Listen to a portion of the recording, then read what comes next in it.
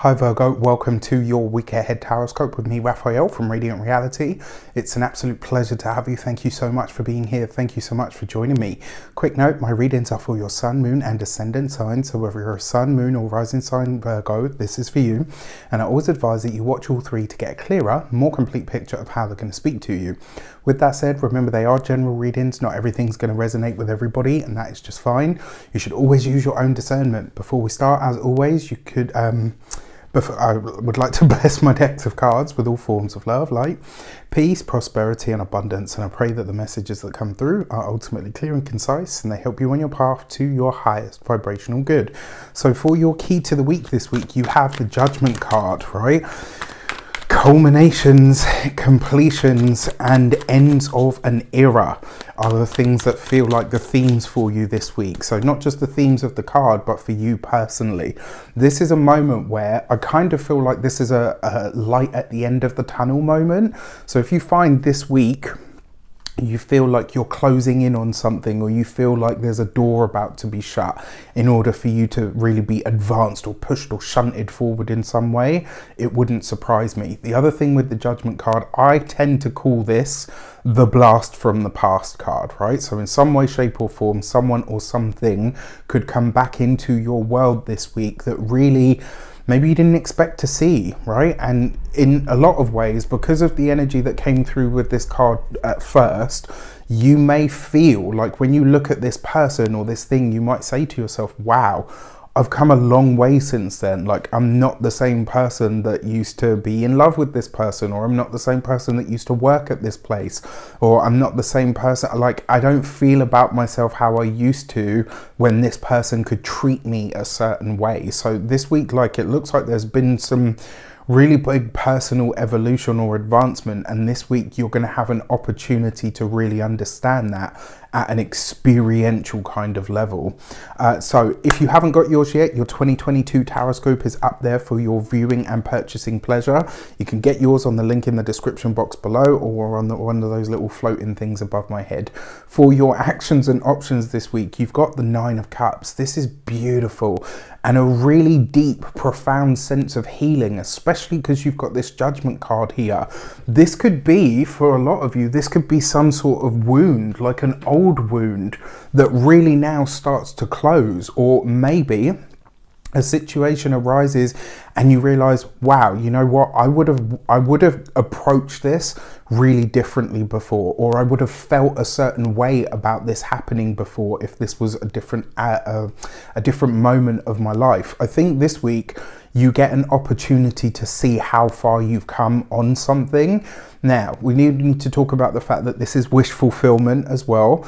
This could be an old offer, idea, project of some sort that you genuinely thought, like, that's it, I missed my one shot. This is never going to happen again. And boom, this week someone or something shows up with this thing that you've been wanting to do in hand. This opportunity shows up for you, and you're like, wow, I have a chance here to, to really do this again. I really like this for you because it's the Nine of Cups and it suggests that a wish that you held once upon a time now has the potential to be fulfilled.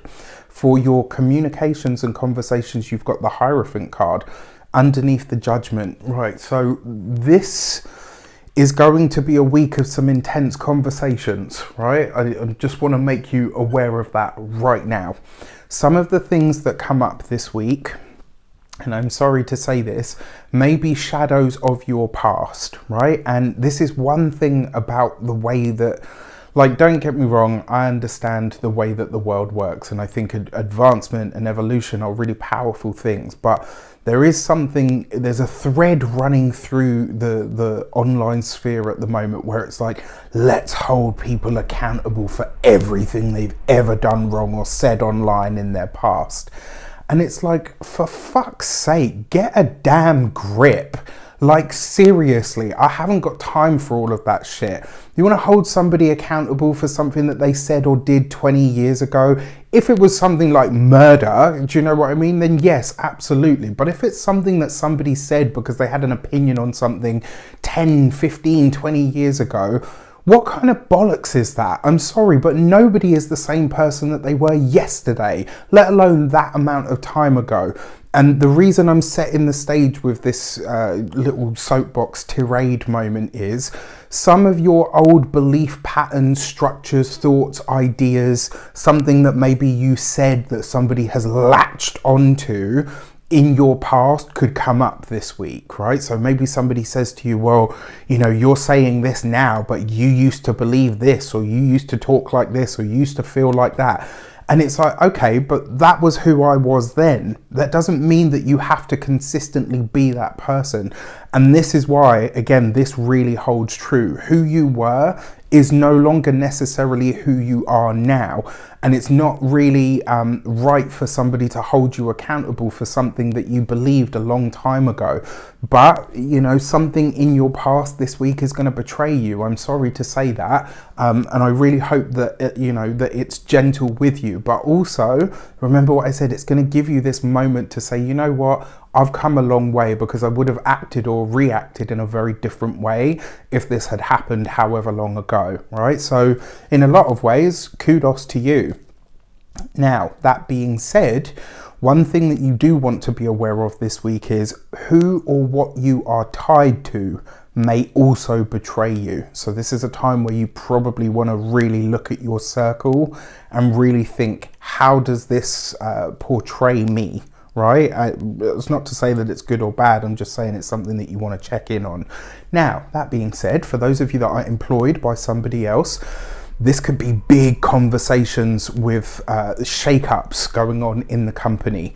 Maybe the company that you work for is being sold. Maybe the entire management group is being thrown out um, there's some big shift or shake up coming up in your company that is going to affect everybody on the ground. And I think this week you're going to hear the first of the rumbles.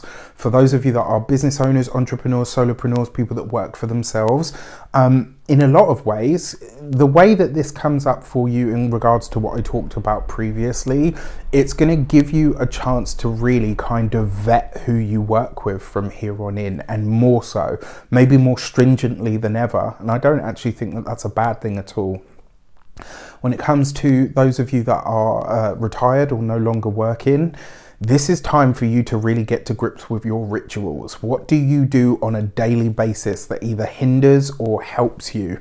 Um, getting really clear on that and maybe talking to somebody about it, you know, maybe a peer, possibly a professional. Wouldn't surprise me if it was that.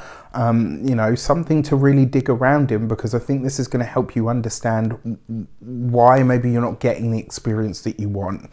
For your love and relations, you have the Wheel of Fortune. This is right underneath the Nine of Cups. How beautiful is that? For those of you that are single, I mean, love could definitely find you this week. I'm going to be honest with you. Um, and this seems to have been a bit of a theme for Virgos this year. I'm really sorry. Um, but you may not necessarily be at your best. But I always say this if you meet someone when you're, you know, haphazard, you're just at the gym and you're absolutely gross, you know, you smell like a street vendor in, I don't know, like, do you know what I mean? Like, eh, all of that kind of stuff. Or maybe you just don't look your best, or maybe you're going for a really rough patch and they see you absolutely tearing somebody a new one.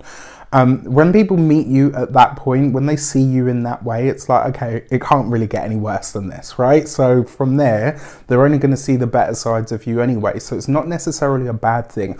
I kind of feel like this is either some sort of role reversal for those of you that are partnered, married, or in long term commitments. There's some sort of role reversal going on between you and your partner. And that doesn't mean that, you know, the, you know, your, your husband's now going to be your wife or anything like that. It just means that there is maybe you know your husband says look i will stay home with the kids while you go back to school or while you go out and work because you now want to pursue the career that you've always felt passionate about. Maybe uh, you know the wife says to her husband uh, look you know what? It's time for you to be more domestic or it's time for you to do more of, of whatever. There's some sort and when i say role reversal it doesn't have to be for the, the the specific norms and roles and all the rest of it.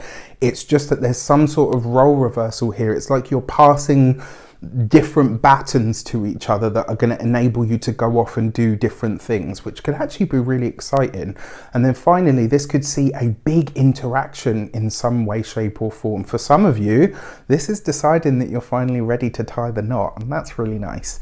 For those of you, uh, for your money and materials, you've got the devil card, and it's right underneath the Hierophant card. This week, if you are having to interact with a financial institution, I'm going to say if it can wait, then probably wait. The reason I say this is we know you, dear Virgos, do have a tendency to fixate, and there might be something that's amiss, maybe something that's not right, and you could pick, pick, pick, pick, pick. Um, until you, you know, piss, piss, piss, piss somebody off, and then it kind of blows up in your face. Just be careful.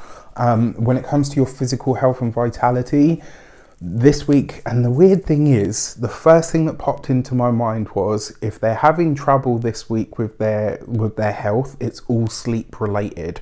I don't know what you've got going on in here but your body literally appears to be exhausted and it's kind of because you're chewing your own brains over something. Find a way to get some bloody rest this week all right? When it comes to your home and environment um uh, it doesn't mean that there's problems coming into the home. It could be that this week, you know, maybe you are middle of the toothpaste stuff, right? Some people like to squeeze it from the bottom so it's all nice and neat. Some people like to just squeeze it from the, the middle and then, you know, it's kind of like a mess. For those of you that don't know, I am that middle squeezer. uh, and I guess what I'm trying to say to you is if any problems or challenges arise at home this week, it's likely because you are being a little bit picky. All right, so just remember it's going to be middle of the toothpaste stuff. Um, for your new moon message, what do you need to know about this new moon? What might it be highlighting or revealing or creating for you?